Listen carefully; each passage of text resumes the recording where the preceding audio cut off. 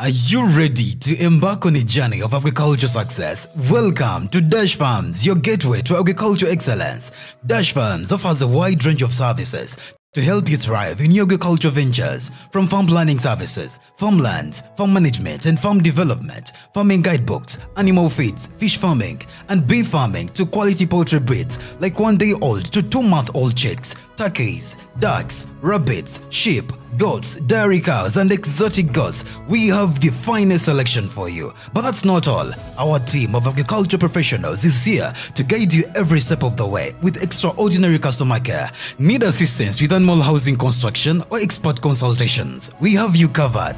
Join us at our convenient location in Zana along Entebbe Road, Uganda at the iconic Ebenezer building. Become part of a thriving community of agriculture enthusiasts. Together, we can cultivate a prosperous future. Contact us today via call, WhatsApp, or through our social media handles below, and let's embark on a journey of growth and abundance. The- webale kulaba kktv uganda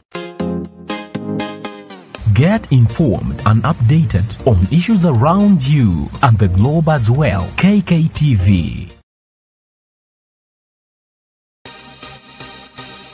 thank you for subscribing to kktv webale kulaba kktv uganda the inspiration and the best broadcasting around town. KKTV.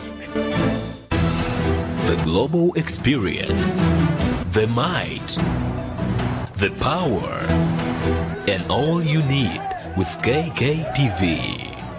We are your broadcasting experience.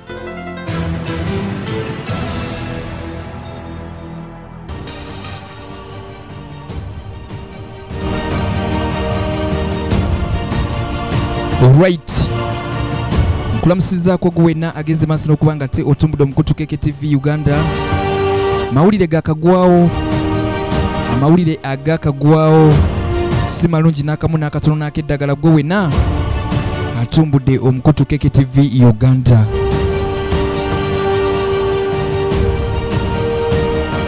Webukeredde olunaku olwaleero werukeredde amakya g'olunaku olwaleero nga tebiwomya nakabululu nakamu nakatono nakeddagala gwe wenna atumbudde omukutu keke tv uganda.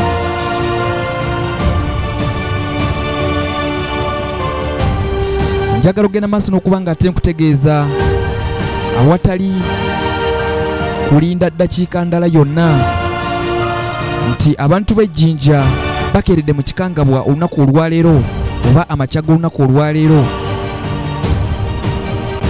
bwe bafunye amawulire nti munnabyabufuzi josephine namboze afiiridde mu ddwaliro lya jinja regional refaro namboze omusomesa omutendeke abadde omu ku bannabyabufuzi abayuguumya okuva mu mwaka gwa 2011 ng'ono yeesimbawo ku kifo ky'omubaka omukyala anaakiikirirwa disitulikiti y'ejjinja mu palamenti wabula nga tebyatambula bulungi mu kaseera ako. Wabula mu kusooka josephine namboze yali munnakibiina kya democratic party ekya dp wabula bwe yalemererwa. Ogenda maaso n'okuba nga te awangula n'akivaamu ne yeegatta ku foramu for democratic change ekya fdc kyokka nayo tebyamutambulira bulungi mu kalulu akawedde. Era mu mwezi oguwedde robert kyagulanyi sentamu aka bob wine yagenda maaso n'okuba nga te akyalako mu jjinja. Juzi juzi wano era mwagenda maaso n'okuba nga mulaba twagenda maaso n'okuba nga tubatuusaako live ezo. Josephine namboze we yagenda maaso n'okuba nga ate asalawo okwegatta ku kibiina kya nup ekya national unity platform.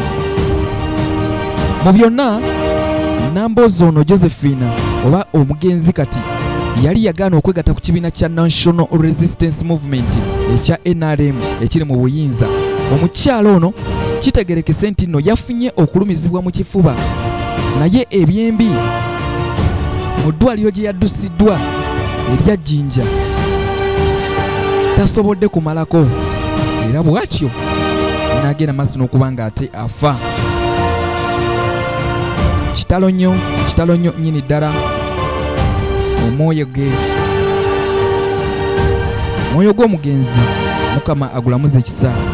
Ono nno abadde mutuuze mu esiteeti ya mpumudde national housing esangibwa mu jinja.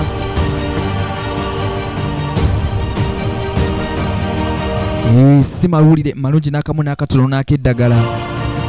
Mpozi okuyitako mu luzungu kwabo abatategeera luganda those who understand english sad news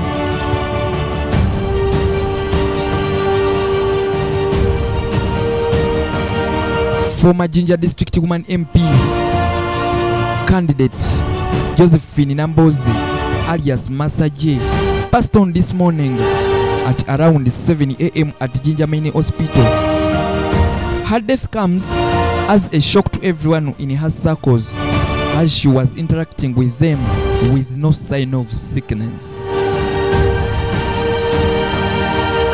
According to Palisa RDC, Majiru Dick who interacted with the deceased's husband, they had supper, they slept very well, but around 4:30 a.m., she told the husband that she was feeling pain in the chest. He took her to the hospital and she was declared dead at 7 a.m. Oh no. Rest in peace.